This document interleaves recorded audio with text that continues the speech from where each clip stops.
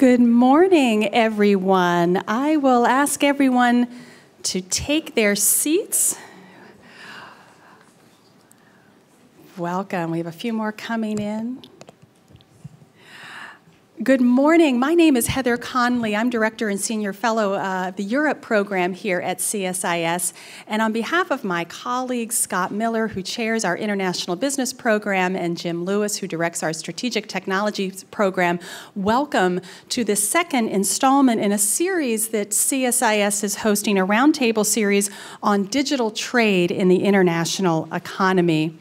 Uh, in January of this year, we held our first discussion in this series that brought uh, Meredith Broadbent, uh, uh a commissioner in the International Trade Commission, to give us the landscape uh, and, uh, and, to release a recent report by the ITC on the scope and scale of the digital economy. And we brought some colleagues from some congressional staff colleagues to help us understand this growing impact of, of digital trade on the U.S. economy and its international implications. So, as we try to understand the dynamics of digital trade policy and that intersection of the global infrastructure as well as national and international trade rules, I'd like to tell you we had the absolute perfect foresight of timing in holding our second uh, roundtable discussion uh, with the, the timing of negotiations here in Washington of the Safe Harbor Agreement. But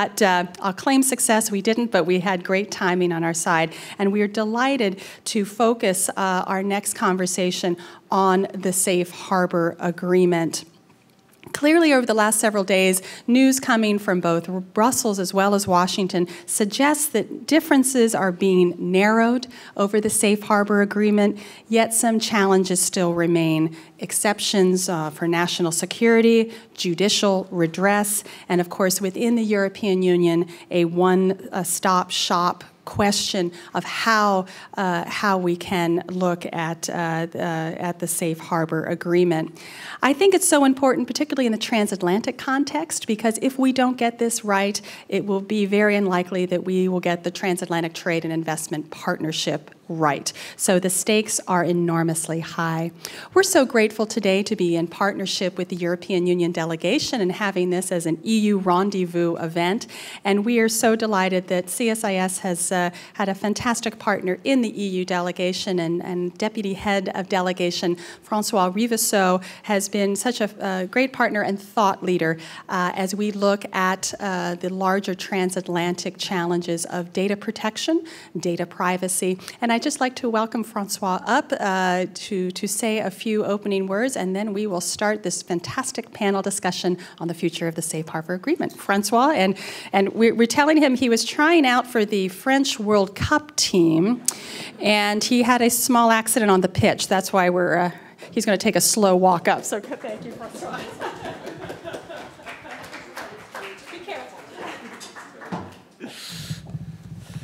Good morning, everyone and thank you for being there. Thank you, Heather, for organizing that in a, such a timely manner.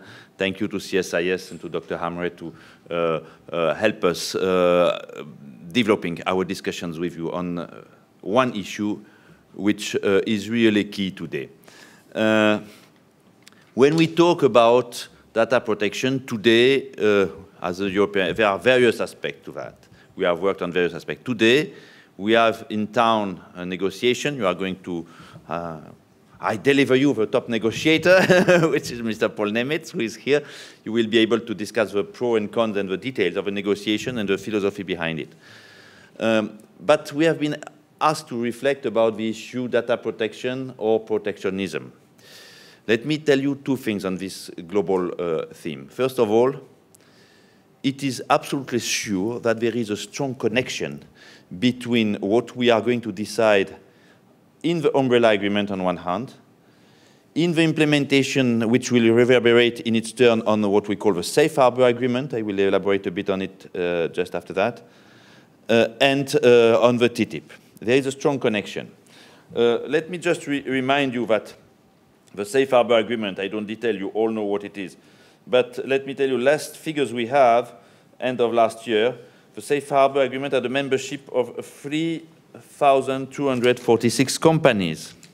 And you know that till now, the US companies are considered as certified as compliant to the safe harbor regulations, which allow uh, US company to store uh, data of EU citizens uh, in the US. Nevertheless, after the uh, crisis uh, created by somebody, somebody help me in the name, I just forgot the name. Uh, well, something we, to see with the weather, bad weather, no, I think, or something like that. Uh, well, let me tell you that a survey carried out by the Cloud Security Alliance found that 56% of respondents in Europe were hesitant to work with any US-based cloud service provider. Uh, that's the impact in monetary terms of a consumer mistrust. Uh, this revelation will cost to the US cloud computing industry between 22 to 35 billion in lost revenues over the next three years. Lost trust means lost revenues. Uh, and in this context, what to do? There is indeed uh, a need, if we want to achieve a, a, meaningful trade agreement between EU and US, there is an absolute need to maintain uh, the possibility of exchange of data without barriers, which would be non-tariff barriers in that case, between the two sides of the Atlantic. And that's why the negotiations we are in are absolutely key. And let me just conclude by telling you a bit how we see it from the European delegation. The European Commission uh, and the European Union as such and the member states have all, we have all welcomed President Obama's remarks and presidential directives on the review of the US intelligence program. We, we are particularly interested in welcoming the willingness of President Obama to extend safeguards currently available to US citizens as regards data collection for national security purposes to non-US citizens. This commitment should now be followed by legislative action, and we have been impressed by the first draft of Senator Sensenbrenner. We, we hope that uh, it will uh, that it will go uh, through and as untouched as possible. Um, but this is one aspect. Unilateral commitments, administrative commitments are great, but it's not enough. We have also, in the so-called umbrella agreement, data privacy protection agreement, to, to, to translate that appropriately in bilateral commitment between the EU and the US. And the, as I said, if we are not able to conclude the, Obama, the umbrella agreement, don't forget that the European Parliament, in its uh, previous composition, has already requested on March 12 this year the suspension of the safe harbor agreements. Obviously, uh, it's only uh, um, parliamentary resolution, something looking a bit like a sense of Congress, not much more. But uh, nevertheless, it put on pressure the Commission uh, because uh, the new commission, um, maybe you followed a bit the debate which exists in Europe, it's not so easy to, to, to have everybody agreeing about the new commission, and it's likely that when the commissioners uh, will present their program and, and will be heard and approved by the parliament, uh, there will be some uh, pressure exerted on them. So that's why the earliest and the better we could conclude this negotiation, the safest for all of us. To conclude, protectionism or data protection, privacy protection, they should not be seen as uh, two, two opposite uh, poles.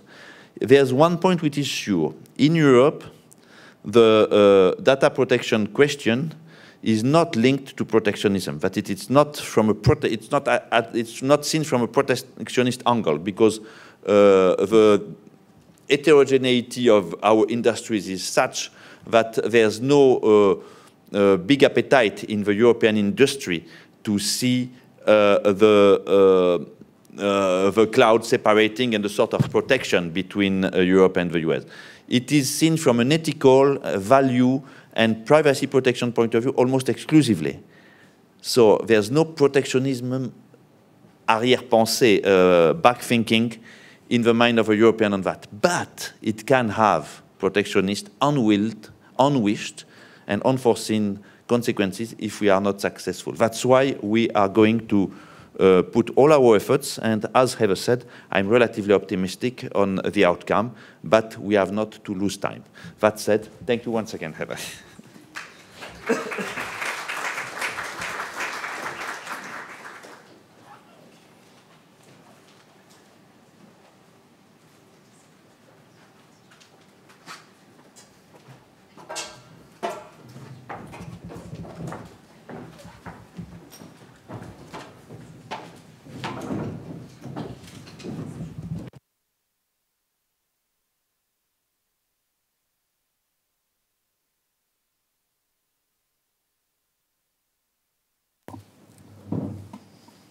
thank you, Francois and uh, Heather. And let me add my welcome. Uh, I'm Scott Miller. I run the International Business Program here at CSIS. And we are delighted you're all here today. We had billed this event as a roundtable, but we didn't have a big enough table to everybody, can everybody sit around. So thank you, thank you for your interest in this. I apologize for the theater style seating.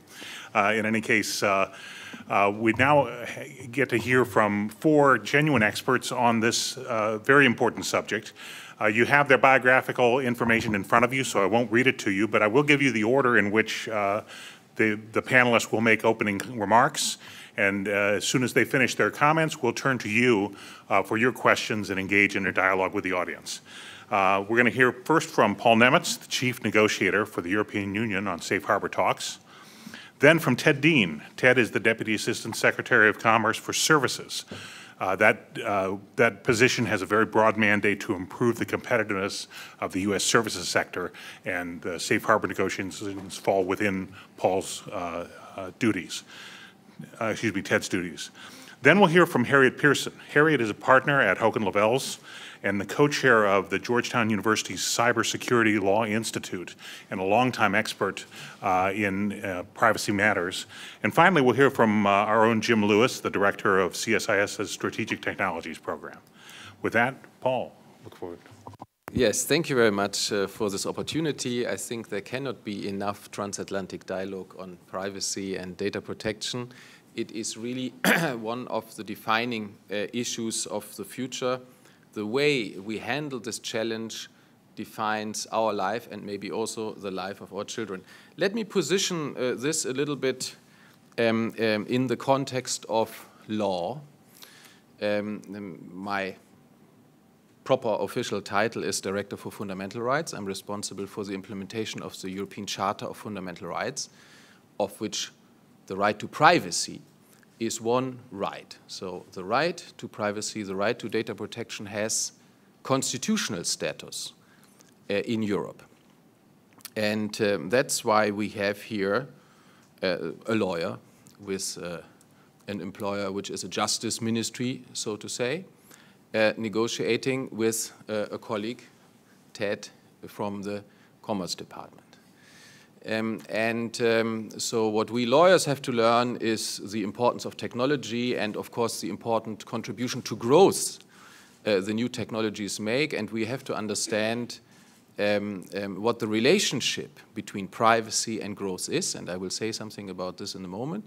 On the other hand, I think when we're talking across the Atlantic, it's also important that those who have responsibility in the United States um, for commerce and business um, understand that in Europe we're talking about fundamental right, which has uh, fundamental right which has a history which goes far back before the digital age.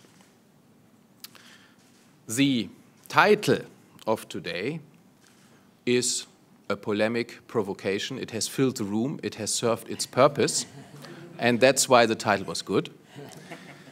Um, but uh, to say that the protection of the freedom of the individual against overreach, first of all by the state. That's where it started. And today, also about uh, the overreach of powerful corporations who know and who can read you as a person, but you cannot read them because you don't know the algorithm. And this applies to Americans as well. Um, the function of uh, data protection and privacy is therefore to protect the individual in its dignity and its freedom. And um, so, yes, it has a protective function, but it has not the function of protectionism. What is the relationship between growth on the one hand and the protection of individual rights on the other? We believe and I think we are joined in this by major US corporations, that there is no contradiction between develop, uh, uh, developing high technology and moving forward into the digital age, into the new business models, into growth and employment, and to make this driver of growth and employment benefit all of us on the one hand, and the protection of people, of human beings, in their dignity and freedom on the other hand. Why is there no contradiction? Well, we believe, on the contrary, there's a synergy. There is a synergy between both. And what does this synergy consist of? It consists of the trust which individuals need to have in this new digital world that their personal data and that their lives and their personality are not being misused and abused, either by the state or by powerful corporations. And only if this trust is there, people will make good use of these services, and only then the economy will thrive and growth will be moving forward in a sustainable way. What we observe is that more and more people start to worry. What happens to their data? What happens in the hands of the state? What happens in the hand of economic operators? And this is becoming a growth impediment. And if you want to talk about barriers to trade, and I can develop it later in the discussion, between um, Europe and the United States, one of the biggest barriers to trade is the activity of the NSA. Unchecked spying, mass bulk collection of data, is a huge disincentive for Americans to use services coming from Europe. Because if you, for example, simply use an EU email service provider instead of your American service provider, because your email comes from Europe and because it transits through the transatlantic cable, and maybe if it's a modern Swedish service provider who provides encryption for free, then your email will be captured probably by the NSA. But if you, as an American, stay with a US service provider, hopefully it will not be captured. So when we talk about protectionism here today, we have to look at the whole picture. And we have to look at many American laws, and this is probably the most flagrant example, which are a disincentive for free trade in services across the Atlantic. Now, when uh, Ted and me, when we talk about the safe harbor, uh, we talk about uh, a successful model of free flow of data, which has grown from 300 participants to more than 3,000 corporations in the US participating.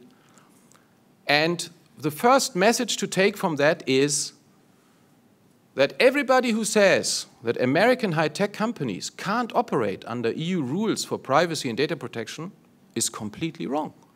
Because the success of the safe harbor the voluntary signing up of more than 3,000 major corporations to the safe harbor shows American companies happily are able to integrate these rules in their successful business model. So I would say the safe harbor is a success of free flow of data. Basically, through the safe harbor, we grant the same status to American companies operating in the United States in Silicon Valley as is granted to any company within the market in Europe. And I think this is a huge privilege which is extended to the United States. And uh, as a counterpart, and that was the original intention of the safe harbor, it is only normal that the protection of the data of Europeans which is transferred, the personal data of Europeans is transferred to the United States for processing, that then these data are also protected here in the way we, Europeans, expect, because this is the data of our people, which is transferred to United States for reasons of business efficiency. And um, this original purpose of the safe harbor when it was concluded, has to be maintained into the future and also under the new conditions of digital age and NSA spying. And that's the challenge we are facing together in our negotiations, and this is where I will end. The original purpose of the safe harbor was to guarantee to Europeans, when their data is transferred here, a higher level of protection than is available under the normal American law to Americans.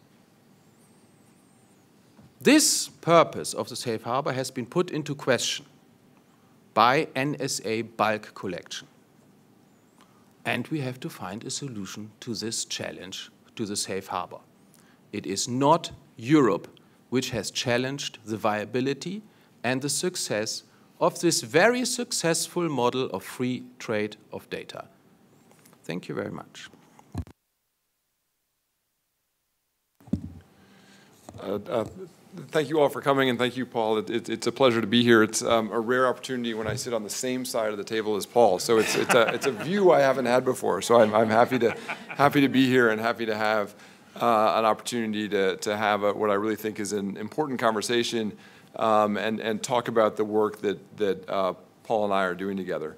Um, let me just say a few words about uh, Safe Harbor and, and, why I think it's important. I'll talk a little bit about the progress we've made, and then I'm really most interested in the, in the conversation we can have uh, uh, together. You know, the, the I, I uh, couldn't agree more with um, Paul's comment that it's a, it's a uh, successful model and one that we want to maintain, and that's why we're working so hard on this. It's, it's important because it provides, in the first instance, because it provides protections for EU citizens' data which would be difficult to replicate without it. So that uh, US companies subscribe to certain privacy principles when they join Safe Harbor. They put in place compliance procedures to ensure that they're honoring those uh, privacy principles when they're in the Safe Harbor.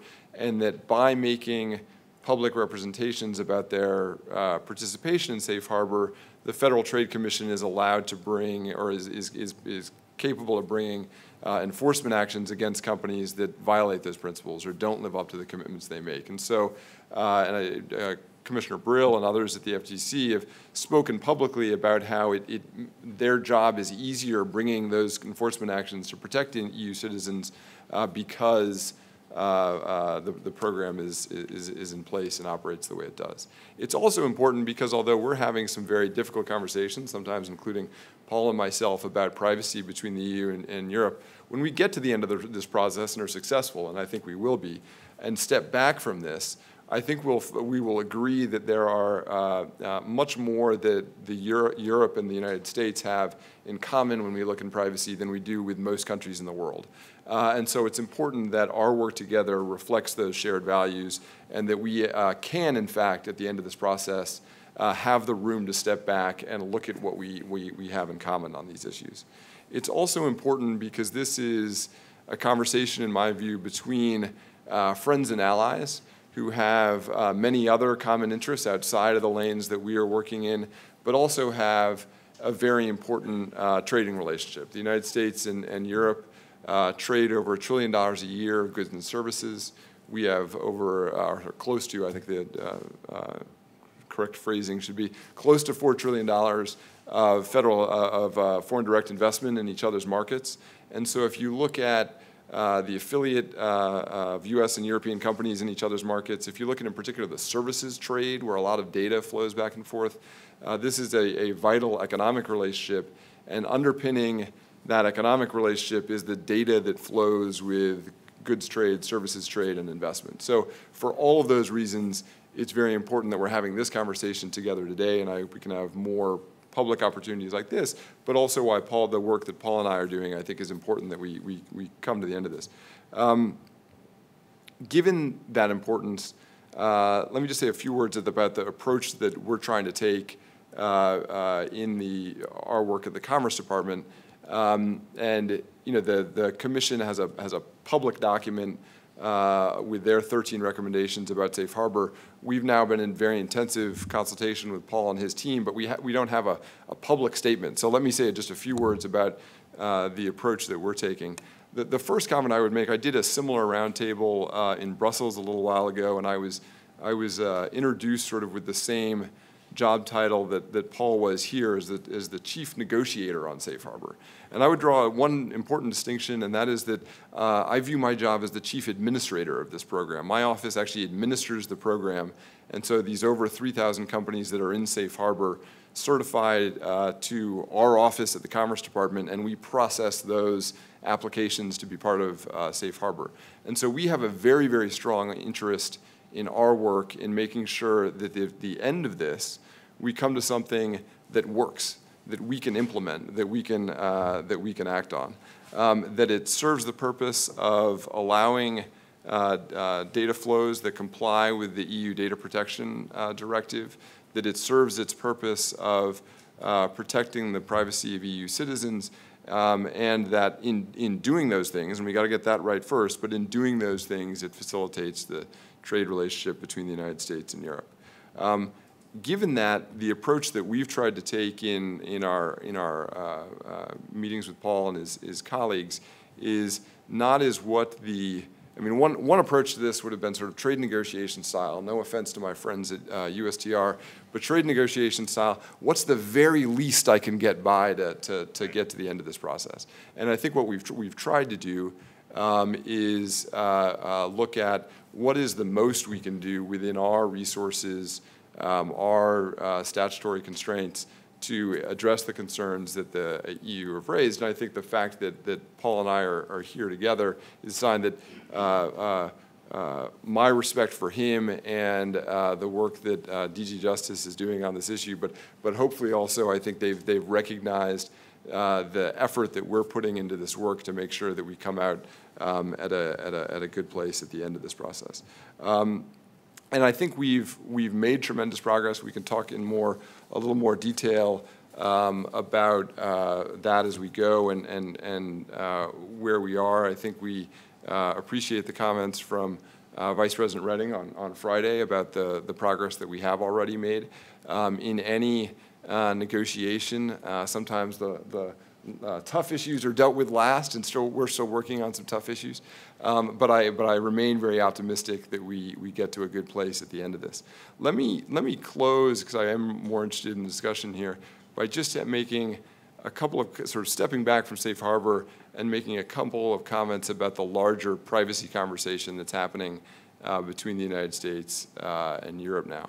Um, I, I, I've read things in uh, Europe or, or, heard things in Europe which I think uh, uh, to, to, an American ear might have sounded like, um, uh, you know, we get privacy and you don't. Um, and to be honest, I've heard things said in, in this town in Washington uh, that I think to a European ear probably sounded like we innovate and you don't, or they sounded like we live in a dangerous world and you don't quite get that. Um, and I think none of those characters about views in the United States or views in Europe uh, do justice to uh, uh, the views of either government, uh, the, the uh, uh, debate that is going on about these issues in, in, either, in either country. And, and, but I think those characters, and this is why this kind of forum is so valuable, those characters put us at some risk of talking past each other. And so let me just mention very, very quickly three places where I think we can avoid talking past each other. Um, the first is, as a, as a, basis for this, is the uh, uh, big data report that was um, uh, uh came out just a few weeks ago. That is the result of the uh, review that John Podesta led. And I think if a, a European audience reading that report very carefully um, would probably, frankly, find some things that they might not completely agree with. Um, but I think it, they, they would also look at that as a very thoughtful effort to deal with some tough issues um, and then uh, a, a, basis for a very full discussion of, of, pathways forward as we look at big data. And, and I know there's work going on at the European Commission on exactly these issues. And so it's my hope that we can sit down with the outcome of that work and the big data report and, and, and look very closely at, at, at, some of these tough issues. Another area I'll mention, um, uh, my office uh, is also outside of Safe Harbor, uh, very involved in these issues in an APEC context and has worked on a system called cross-border privacy rules and we, a couple of months ago, um, announced with the Article 29 Working Party, the Organization of Data Protection Authorities in Europe, a referential comparing the APEC uh, cross-border privacy rules and binding corporate rules in Europe. And so we've sat down and said, well, what do our systems have in common and how are they different? And that's, that's a work stream that continues, and again, an area where we can sort of isolate what are some of those concrete differences. And the last area, which I think is a good base for this discussion, is exactly the work that, that Paul and I are doing, where we're uh, uh, working through, yes, what are some difficult issues, but to Paul's point, taking something that we do think is a successful model and looking at um, how can we do uh, how can we ensure that it, continues to serve its purpose in the, uh, in the future, and how can it uh, serve its purpose in terms of uh, where there are differences in privacy regimes in the United States and Europe? How do we bridge that and ensure that there's protection for EU citizen data that comes here, um, but also that we do facilitate the trade that, that, that relies on safe harbor. But so much to talk about on these issues, but perhaps I'll stop there. Thank you, Ted. Harriet?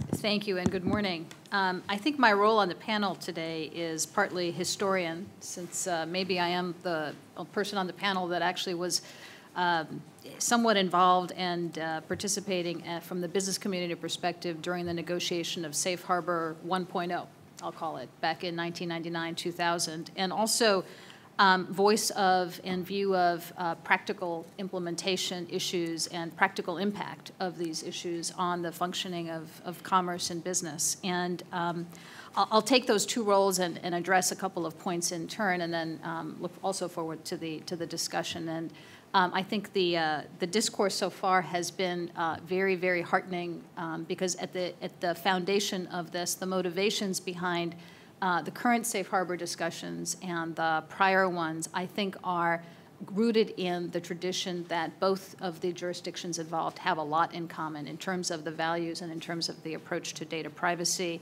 Um, there is a, a lot of uh, commonality, and the motivations today are similar to what were in place um, 10, 14 years ago um, around uh, facilitating transfer and, and, access to data, but doing so in a respectful way of both, um, both countries, both, both jurisdictions.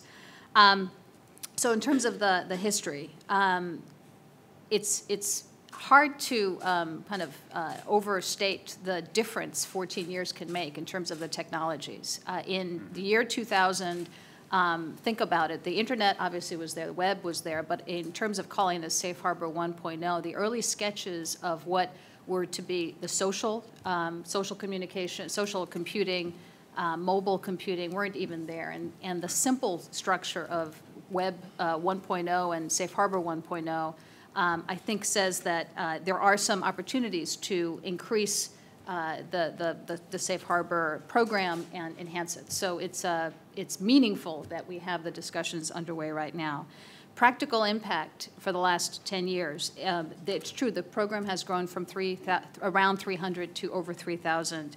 And not a day passes at this point in um, my uh, practice where I don't get a call from a company asking about um, how do we enroll in Safe Harbor? What are the steps? And oh, by the way, is it going to be there in a few years? That is a question that is absolutely there. And um, the companies that we've worked with, and I think from a business community perspective overall, the answer has to be yes. The answer must be yes. Um, it is an exceedingly important mechanism for the transfer and access of data. And there are a couple of reasons for that. One is, and I think, Paul, you mentioned the role of large corporations, and I think the um, very important point to keep in mind is that many, many, many of the organizations who are availing themselves and registering with the Safe Harbor program are actually quite small companies. And the role of Safe Harbor as a, as a practical mechanism to facilitate the accountable transfer and access to personal data across borders between the EU and the US is essential. The process has been administered in a very good way here in the United States. It's a simple process, but it's also quite a visible one. There's a saying in the uh, saying about sunlight being a good disinfectant, the sunlight of, of enrolling yourself. Um, I will tell you that the um, discussions that I've had with companies before they sign their names, uh, somebody actually has to sign a name and file publicly. Um, it's a very serious step. People take it very seriously. And um, in the main, that is part of, I think, the success of the program, and the viability of it for smaller companies is a particularly important piece. Um, the fact that the the principles in the safe harbor are very similar to, or are essentially the fair information practice principles, which underlie all of the major privacy laws in the world, has also been very helpful because it creates um, a way of having a common language, so to speak, around privacy compliance. And so the companies that enroll in Safe Harbor are also uh, perhaps exploring the APEC cross-border privacy rules. They certainly are working on domestic compliance with laws in Europe, and they're working on domestic compliance with laws in the United States, all based pretty much on the same language. So it's also been a very practical mechanism going forward. now that we are at a position of um, perhaps looking at Safe Harbor 2.0, depending on the outcome of the discussions here, um, the path forward, I think, is a vital one. And I would offer a couple of, of thoughts about going forward um, as assuming success here. Um, so uh, first, I think we will continue, and it, I think from a business community perspective, it's essential to continue having a similar um, similar view and reflecting the commonality that exists between the EU and the US systems. Uh, having practiced privacy law now since 1995, um, and uh, so have, have seen the development of the directive and the implementation and the transposition of the directive and now the regulation proposal, um, the commonalities are um, much, much more than the differences. The difference in the implementation, of course, is there, and, and obviously there are differences, but having that continue um, in, a, in a matter of uh, comity is, is important. Um, Paul, you mentioned the importance of trust. Uh, in the private sector, there is an intense focus on the trust building aspects of use of the safe harbor mechanism going forward and currently. And it is one of the tools that companies do use to signal to their constituents, external as well as internal to their own people, that they have a program in place that they take data privacy, data protection very seriously. So it is uh, going to be continued to be used in that way, I believe, going forward.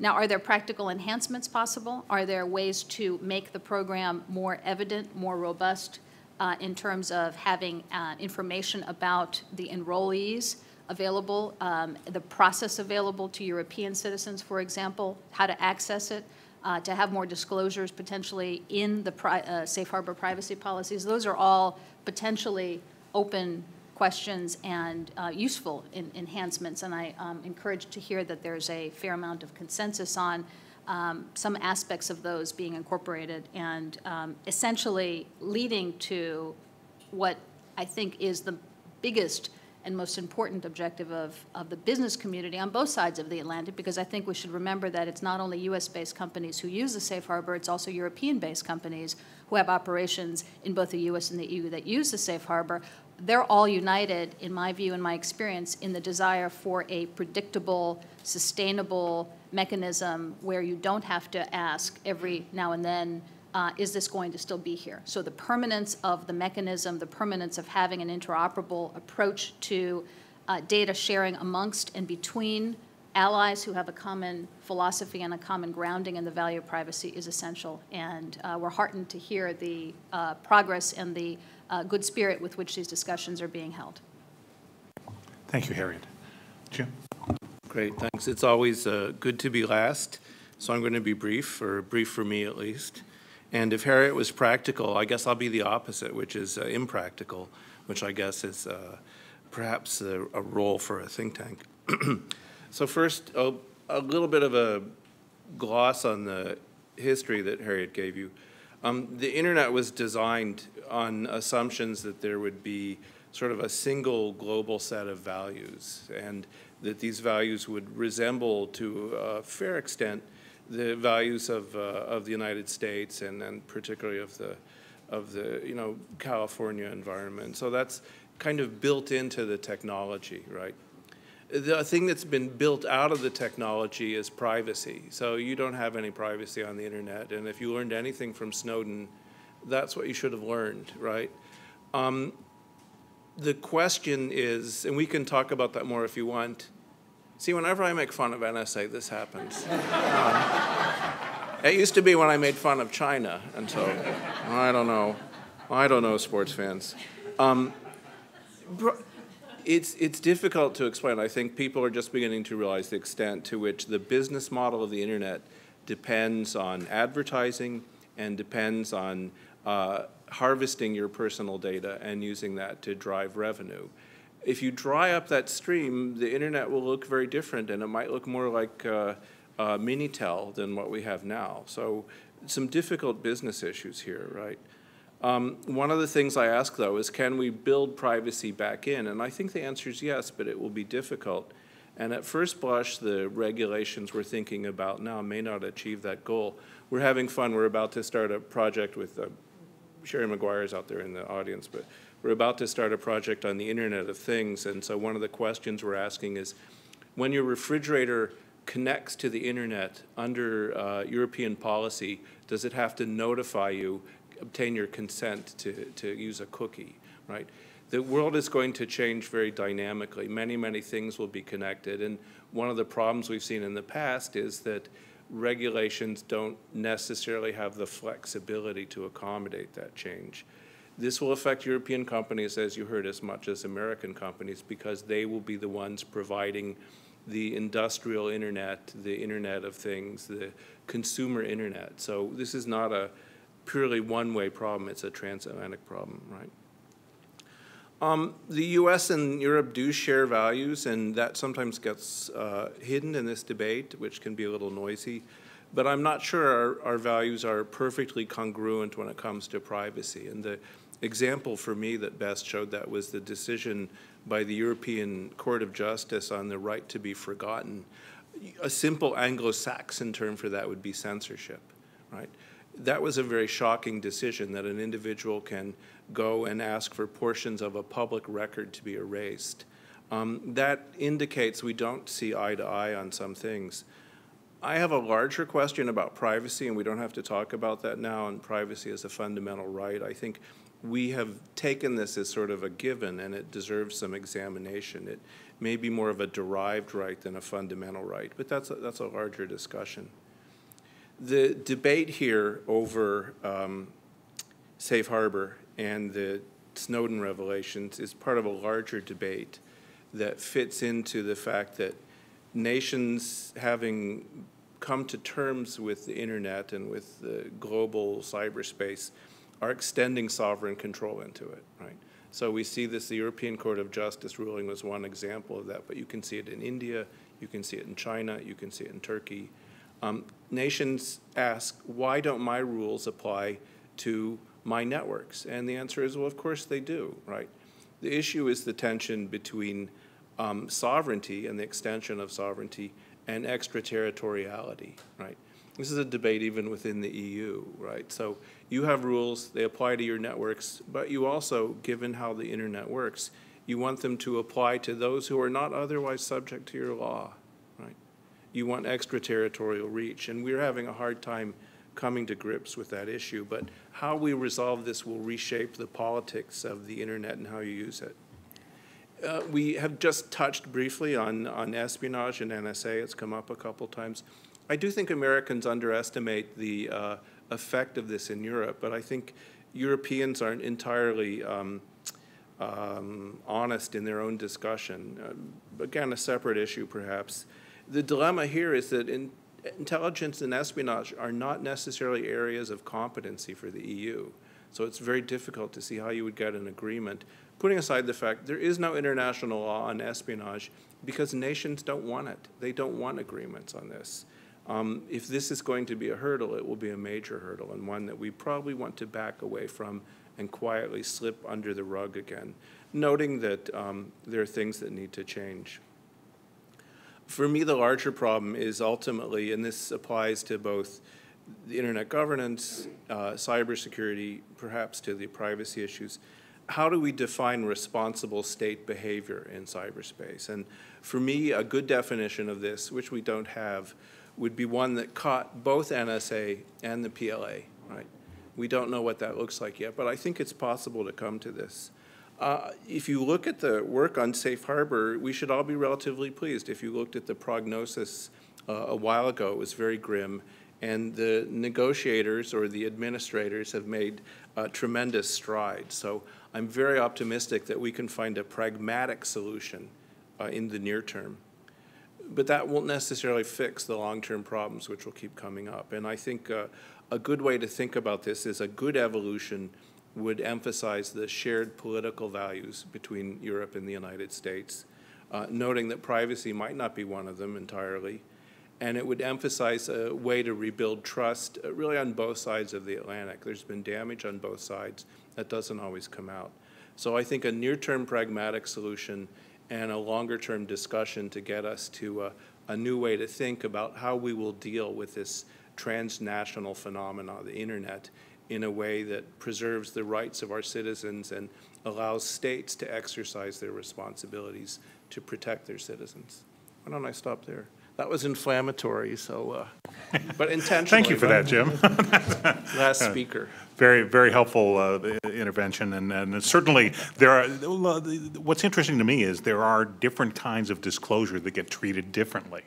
Uh, everyone who operates in the internet, most most firms at least, seek desperately to avoid inadvertent disclosure of information.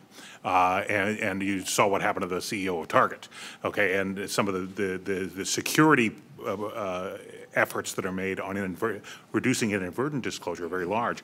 And there's this large area of voluntary disclosure between the consumer and the company, which is really the subject of safe harbor, and as I think Harriet uh, correctly illustrated, a point of great sort of practical commonality of interest, and a lot goes on what, what, where Jim ended was on what I would characterize as mandatory disclosure, where governments require information to be disclosed to them. And that is, that is a transnational problem. It is, those kinds of problems are typically solved with laws and treaties, but the, the, it's, the, the work is incomplete and subject to very rapid technological change, uh, as the panelists also pointed out. So helpful discussion. I'd like to open it up to our very knowledgeable audience uh, with uh, three reminders as we start the questioning. First, wait for the microphone. We're, we are, we have the, we webcast this event and uh, will be taped, so no one will hear your question out there in cyberspace if you don't wait for the microphone. Second, uh, introduce yourself and your organization, and if you have a specific question for a specific panelists, make that known up front. And third, make sure your question is actually in the form of a question, no statements, please. So, uh, yes, sir.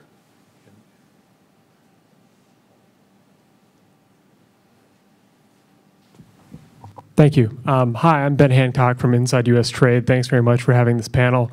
Uh, a question first to the negotiators. Uh, Mr. Dean, you talked a little bit about the progress you said you were making this week. Can you walk us through a little bit of that? Um, you know, map out some of the areas where you're finding, you know, uh, consensus with uh, Mr. Nemitz here. Um, also, a question for Mr. Nemitz as well. You talked about the challenges that the NSA revelations have had for safe harbor, or posed for safe harbor. But out of the recommendations that the Commission put forward, only two of them addressed national security exception, and none of them were binding uh, recommendations or recommendations for, for new binding rules.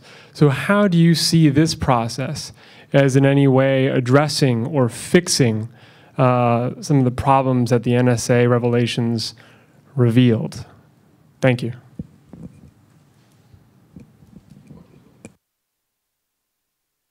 Ah, Ted, please. go ahead. Okay.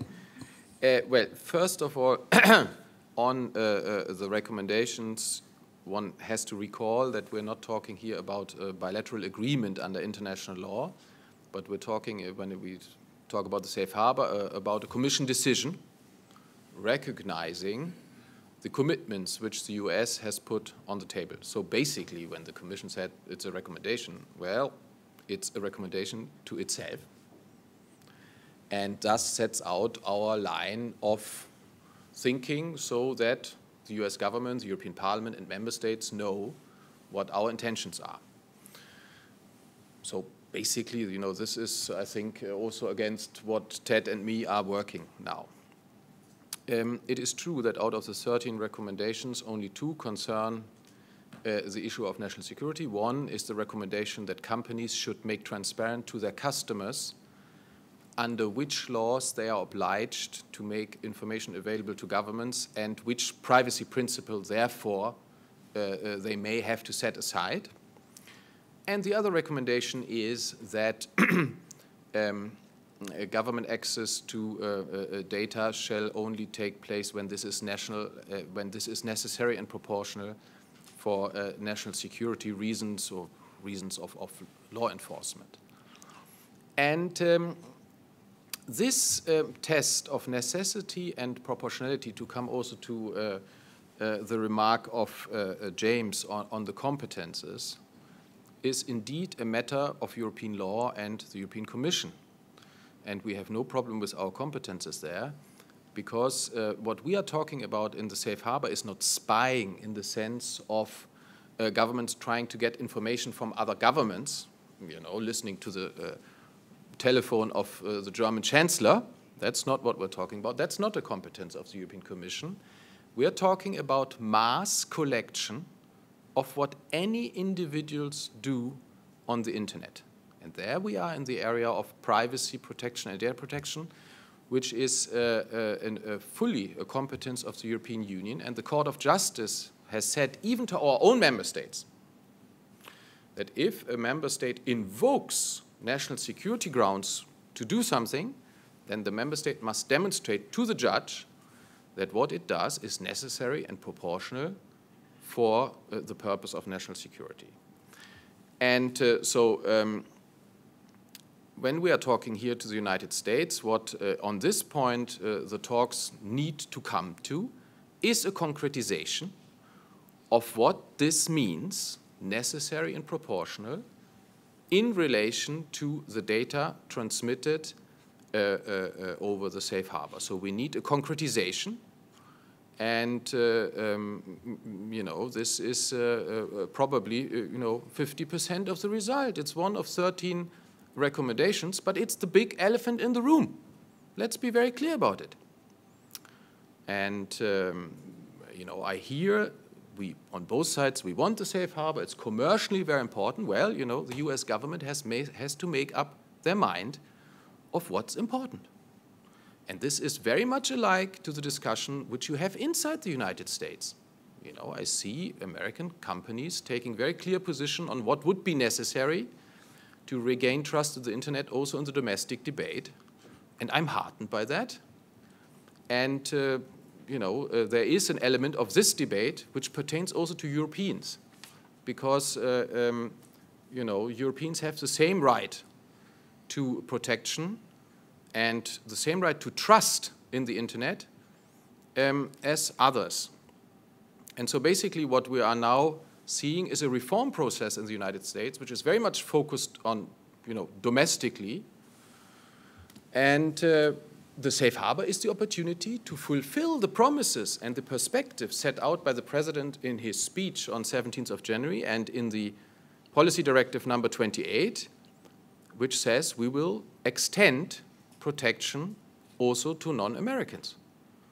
And here we have an opportunity to concretize this announcement and uh, to come to real impacts of protection also for Europeans when their data is transferred over the safe harbor.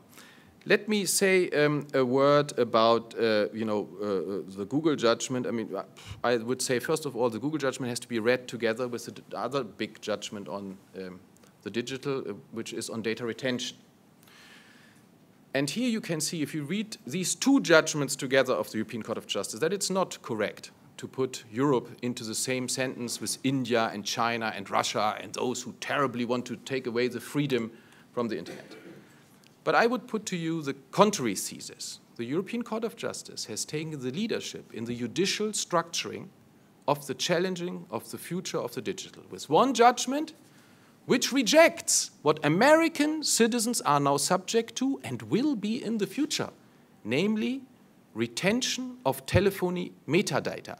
What you are discussing in the United States now as the great progress of liberty, which is to move the retention from the NSA to private companies, in the judgment on data retention by the European Court of Justice has been declared illegal under European laws.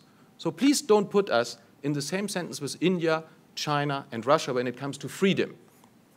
This judgment could be great inspiration for Americans to understand what freedom is about. In Europe, the freedom now is not to have European law, which has basically unlimited data retention on telephony data. Read it and be inspired for your domestic debate. So here's one judgment limiting what the state can do, and there's another judgment which rebalances the situation on the internet, that's the Google judgment, in a way which is totally normal and fully in line with a long line of jurisprudence also on television and newspapers and so on. There is no right of a television station to put a camera up and you know just film your garden 24 hours a day, you know just see what's going on. No, you have a protected space of privacy. And these basic principles of privacy protection somehow have to be translated also into the digital age. And the court has very, very clearly said that the right to privacy must be balanced with the right to information. And it is not correct what James said that records have to be erased. According to this judgment, links have to be erased on Google. But that doesn't mean that the record is erased, nor does it mean that the information cannot at all be found on the internet. It's a delicate balance, but this delicate balance and this work on this del delicate balance is necessary for a free society. Because, you know, to put the question even bigger than uh, uh, James has put it, the question we are facing in the digital age is whether technology rules alone or whether human beings with their freedom and, uh, and dignity are still respected as individuals. That is the big question we are facing, and that is also the balancing exercise we have to do when we are facing the potential of technologies, namely Google makes everything transparent, allows profiling of individuals big time based on public sources. And on the other hand, we have an individual which is completely stripped of any individuality and freedom and dignity. Because advertising is the money source of the internet. I mean, you know, thanks for the honesty at least. Well, you know, this is something European law doesn't allow. And honestly, I've studied in the United States with a Fulbright scholarship. I think Americans also don't want it. Americans also want individual freedom. And if you look at the opinion polls about the worries of people, they're not very different. We share the same values, it's true. And also the empirics are the same. American people also don't want to be stripped totally of any right to privacy protection and protection of personal data and want to be profiled all the time, big time, by data dealers, address dealers, and so on. Ted, would you would you like to uh, either respond sure. to Paul or the original sure. question? I, I, and I'll just, give Jim I'm, a chance to respond. We, we know at least one person agrees with you, so that's. Uh, uh, I, I am uh, I'm so happy James is here because I spent so much time debating with Paul that now there's someone else who can come in and debate with, debate with Paul. So no, this is great. I mean, I think your question was about exactly kind of where we are in the in the uh, process and the progress we made. And perhaps my shortest answer would be no. I don't want to go in exactly that. I'm getting along so well with Paul that I don't want to sort of uh, uh, negotiate in, in public on this. But but what I would say, and sort of going back to my uh, uh, initial comments on this is. Um, you know, I view what we have uh, uh, come together on on um, the first 11 recommendations on safe harbor uh, as not uh, concessions we have made, um, but rather improvements on the program that we uh, are, were able to come together and say, yes, these are improvements on the program. And so some of those have been simply endorsing recommendations that the commission has made where we thought they, they, were, they, they made good sense. Some of them have been where there are some challenging issues as we looked at the recommendation, coming up with creative ways to, uh, to address the concern if, if, if the recommendation itself was challenging. And in the course of this process, we've uh, looked at what are uh, other things we can do beyond the 13 recommendations that we think would uh, make this, this work in the, long, in the long term. I think it's important as we, as we talk about safe harbor, I, I don't want um, in, in, the history of this program, which now is you know 14, 15 years, um, to people to, for, to, leave people with the impression that somehow uh, this is a a you know loophole in EU law that the U.S. discovered. Um, that safe harbor operates the way it does because after what I, I believe, when, and Harriet would know better than uh, remember than I, you know, a multi-year negotiation, we agreed that this is the way it would operate.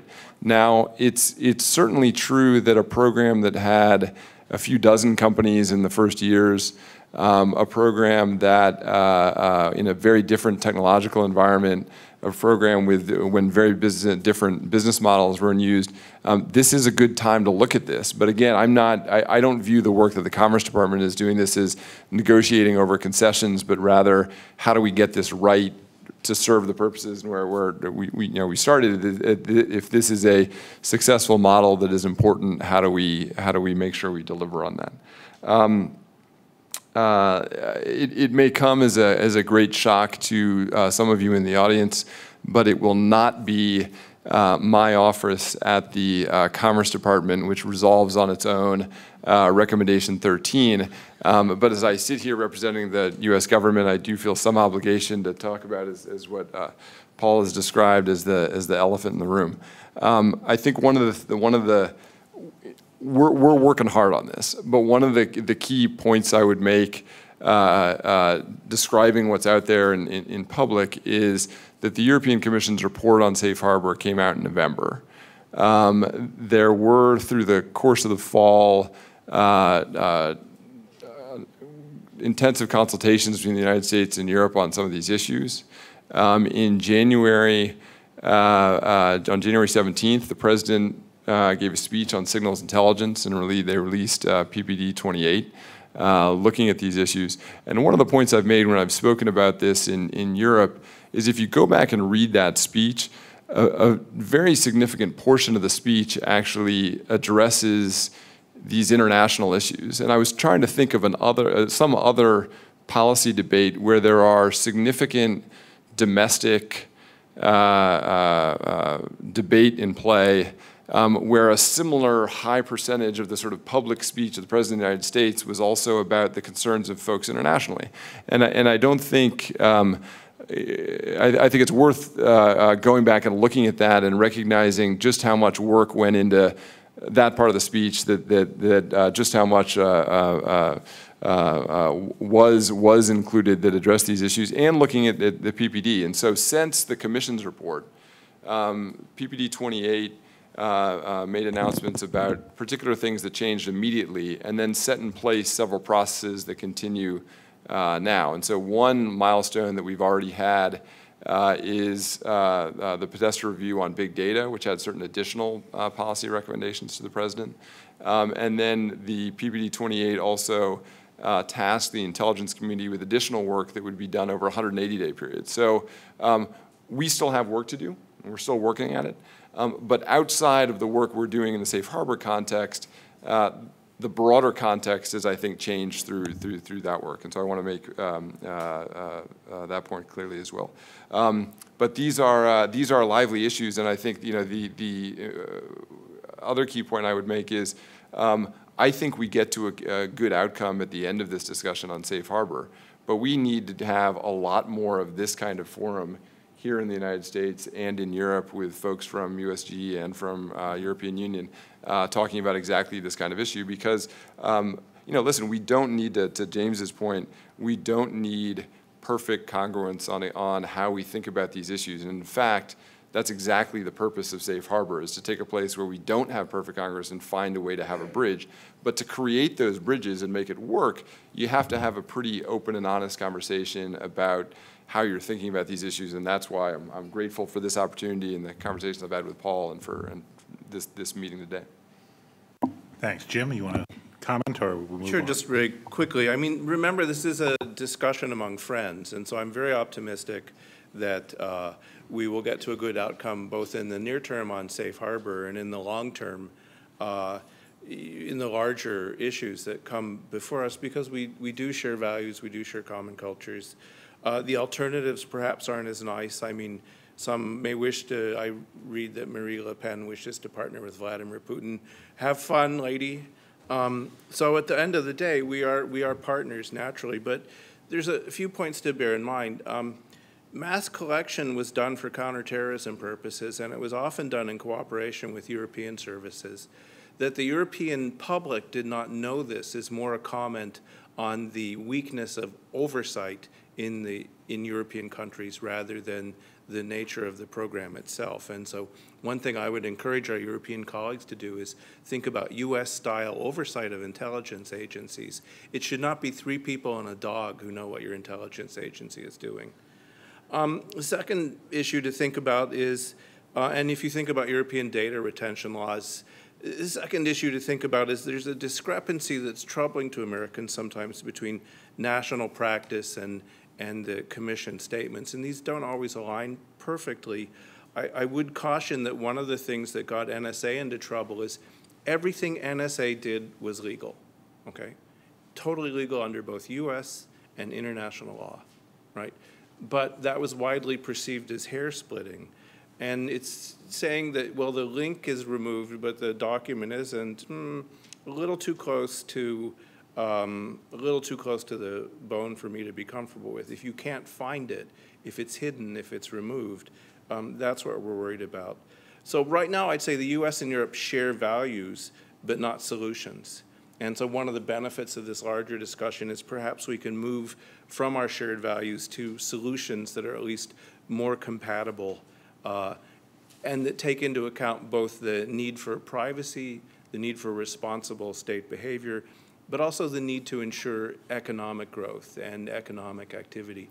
This is one of the things that worries me sometimes about uh, heavy-handed regulation. I know that some people find that weird coming from me, but um, it does. It is a problem. Uh, regulation is essential. I agree. Too much of it, though, uh, kills economies. Yes, sir.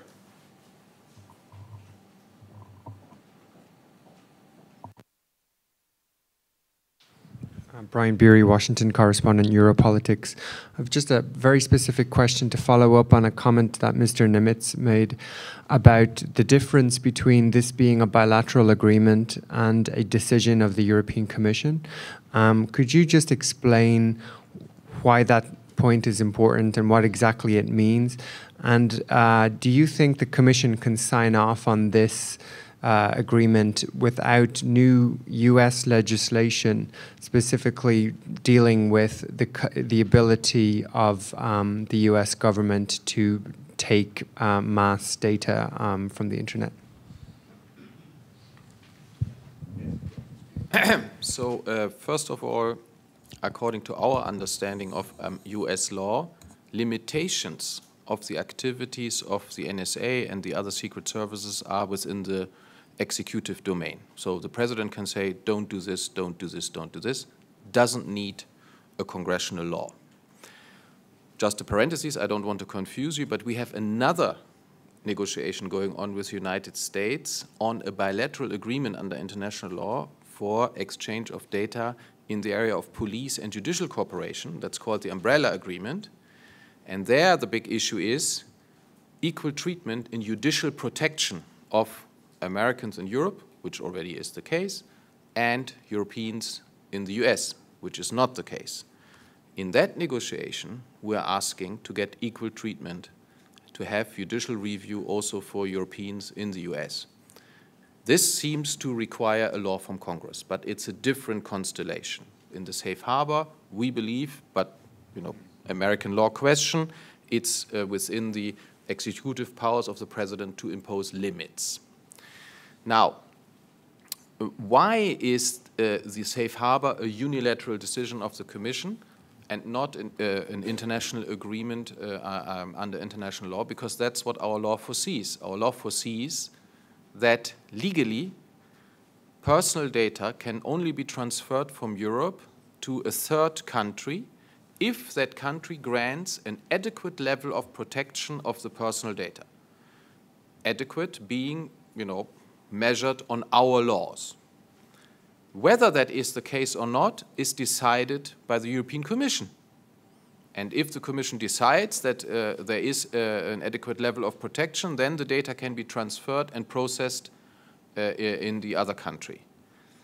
The United States has been considered not adequate by the European Commission. That's why the safe harbor negotiations was, were, were, started, and the system of the safe harbor is such that those corporations, companies, which self-certify to comply with the privacy principles laid down in the safe harbor, that these companies benefit from a limited adequacy finding, which is the decision of the Commission to recognize the safe harbor system as sufficient protection as far as those companies are concerned. Right. Harry, you may want to uh, clarify additionally, this is a voluntary process from Just a U.S. a, a quick view. addition is kind of from a, from a legal perspective. Uh, yes, I, I, I agree from a U.S. law perspective that um, there is power in the executive branch to um, adjust and communicate policy that would um, not require uh, legislation and so allow the, um, the discussion to proceed.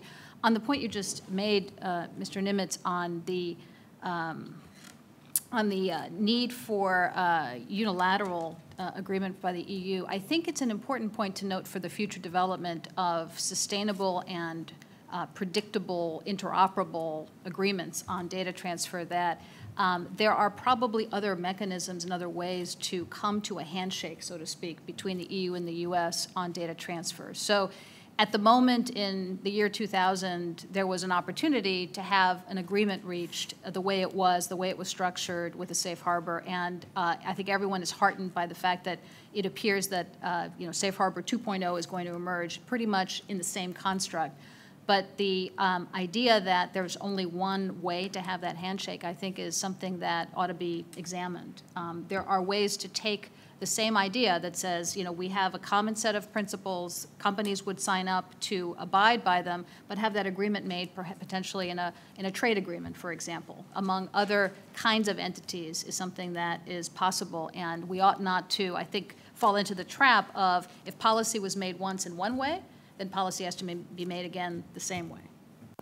If, if I could add, I just want to take advantage of a rare opportunity to agree with both of the previous speakers. Um, uh, I, I, just wanted to be clear that on the on the question of the adequacy finding, the legal construct, this is not a point of discussion or, or, or uh, uh, disagreement. And in fact, I mean, I direct you to our on the Commerce Department website, you can easily find the Safe Harbor framework, and I believe you can actually, I believe there are public documents, which are the letters that were exchanged in 2000 uh, uh, as the as the uh, framework was uh, uh, put put in place.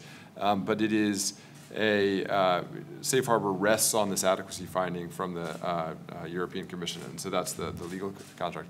Likewise, I agree, I agree with Harriet that you know one of the things that uh, about this, I, I, as I've said before, do believe we get to a good outcome on this, um, given uh, growth of the program, changes in technologies, changes in business models. I don't think our work ends when we conclude this, and um, again, not looking at what the mechanism is for you know future agreements or future adaptation on this. Again, viewing this as something a program that that my office administers.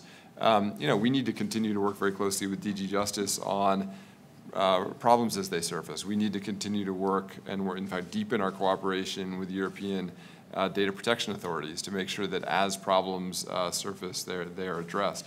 Some of the um, recommendations that are in that Commission's report um, deal with things like false claims when a company says they're in safe harbor and they are not in fact in safe harbor. Uh, you know, looking at this, uh, uh, the, the, our, our, primary interest is the um, uh, how you make this work for privacy. But frankly, as the administrator of this program, that's just bad for my brand. You know, when, when, a, when a problem surfaces like that, if people can't, how do you in, in, ensure trust? Well, people have to know that when a company, they look at a privacy statement and they see representations about safe harbor, that they know that that, that company is actually certified to the Department of Commerce, that the uh, Federal Trade Commission has uh, enforcement authority. And so, uh, you know, we have a very strong interest in, and I think we'll have to, to make this work on administrative, continuing this work as, as, as perhaps not quite as intensively as we have over the last few months, but, but continuing to work very, very closely with partners in Europe to make it work. Can I make one, one more practical uh, observation? Is I think um, we've also talked a, a fair amount about the internet and advertising-based business models. And I think it is absolutely essential. I, I, made earlier the point that there are a lot of small businesses, smaller sized businesses that are utilizing the safe harbor mechanism. The other point to note is the nature of the data transfers and flows here. I would bet, I don't have a firm statistic, but if you look at the 3,200 companies that are enrolled and the types of data that are being covered here in the safe harbor and that are prospectively will be covered, it's a lot of what? HR information, information that you're using to run your business, data that may absolutely transits perhaps the internet or internet-like systems or networks, but this is not in the main about enabling um, you know, certain business models. It's about enabling all business models, including the operations of organizations that are operating to serve customers across borders, that are you know, do, engaging in trade, and they're engaging in, frankly, the more um, routine type of data transfers that are essential to an international economy. And the, the sooner I think we get that in the lexicon of um, how we talk about the safe harbor, uh, the better off we'll be in terms of coming in terms of coming together as allies to create a mechanism that's sustainable that actually supports the real business of business. Excellent point about the back office. Just real quickly on that too, it's, this is a point that will probably lead us to agreement because it will affect European companies operating in the US as much as American companies operating in Europe. So when you look at the extensive presence of European firms in the US, they'll need to do the HR, the finance, the shipping and data transfers. And this is a, area of commonality that I think will help us reach agreement. Thank you. Another question? I don't mean to neglect this side of the room, but you're being quiet. So. Yes, sir. There we go.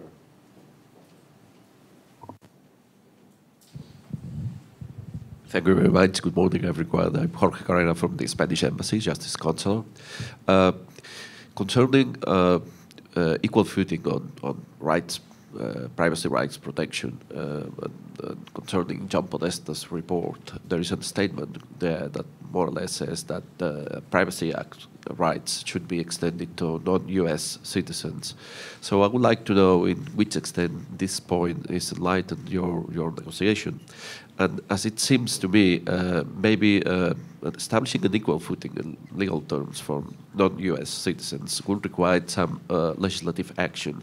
So, uh, is one thing linked to the other? So, is it possible to reach, for example, an agreement on on safe harbor and then waiting for uh, uh, another moment in order to to to make, I would say, a, a, legislative reform in order to to to establish an equal footing for uh, Privacy Act protecting, or uh, you will wait till, uh, in case it's necessary, this legislative action is taken. Thank you. Ted, I think it's for you. Sure. I mean, on, uh, on the recommendation in the big data report, it relates to administratively how can you, uh, uh, you know, through policy changes, extend and I can't, I don't have the exact language, it's sort of Privacy uh, Act like, but it's, but it's administrative changes. And so uh, that's a recommendation of the president that is being looked at and work is, is beginning on. Um, it is, uh, uh, I, I, think I'll leave to Paul the sort of the um, uh, negotiating position of the EU on this. Um, it is, as, as, Paul said earlier, uh, that constellation of issues around the Privacy Act and judicial redress are, are part of uh, the umbrella agreement negotiation and not uh, directly relevant to um, safe harbor.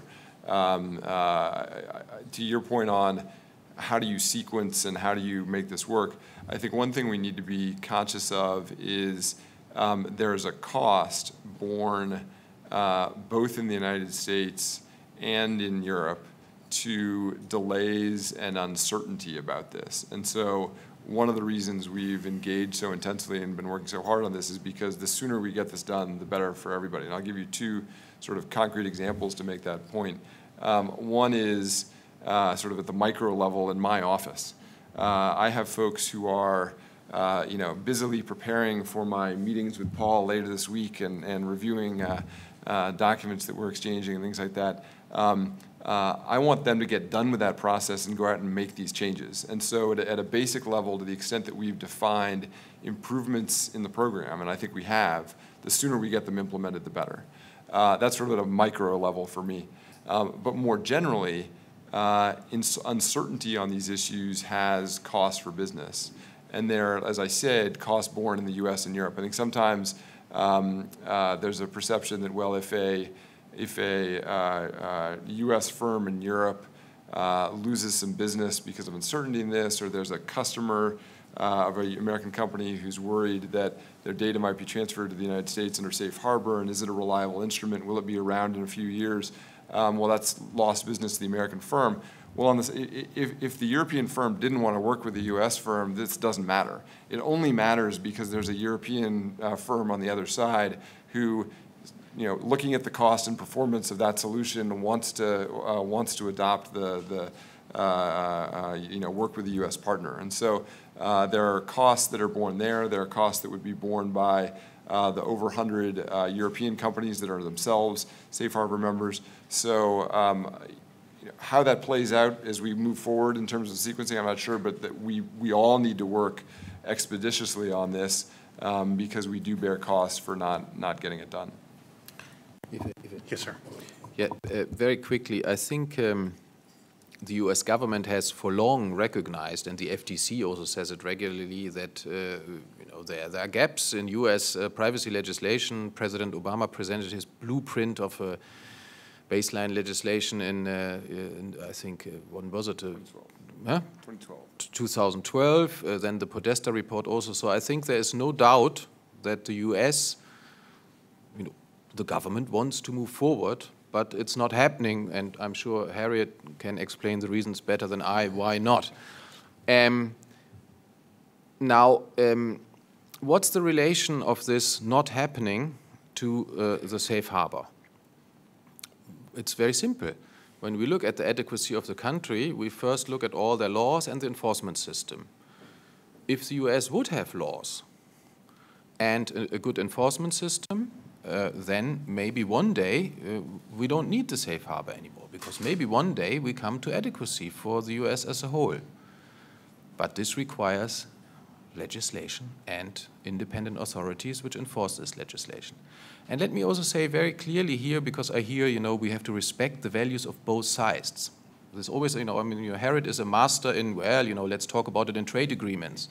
Well, sorry, Harriet, no. Uh, we will not negotiate this down. There is no way that privacy standards of the European Union can be negotiated downwards. You know, let's meet in the middle, respecting both parties, like in a trade agreement you do. Why? Because they are of constitutional requirements.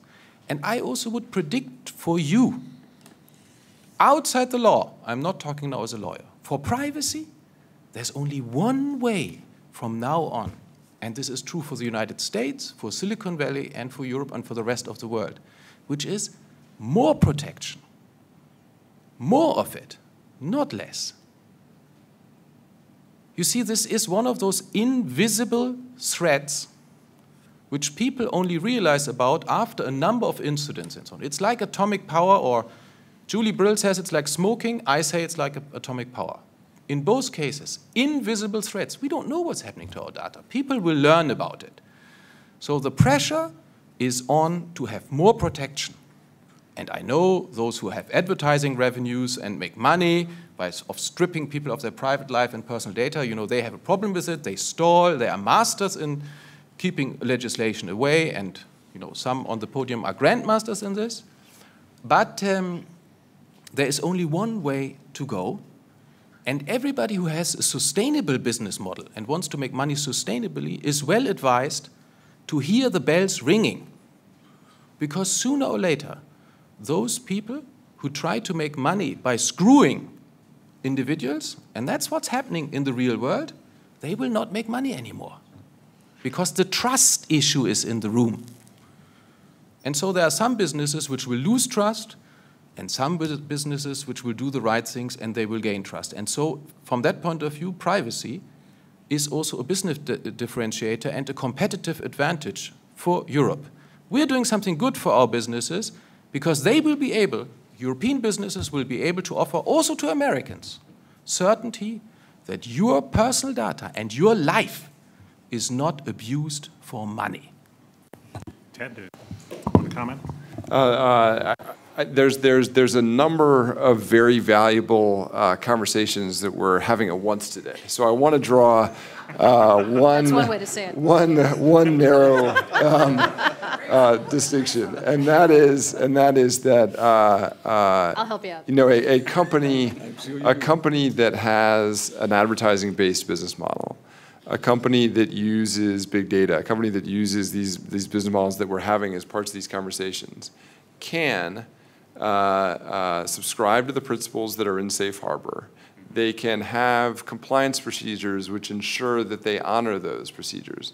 They can have uh, the Federal Trade Commission there as a, as a the cop on the beat that I think has a great deal of, of credibility and, and respect in Europe, that when they violate those procedures, they could be subject to very significant uh, enforcement actions, as has in fact happened with some of these very uh, uh, companies. So that the cop on the beat has uh, made arrests, so to speak.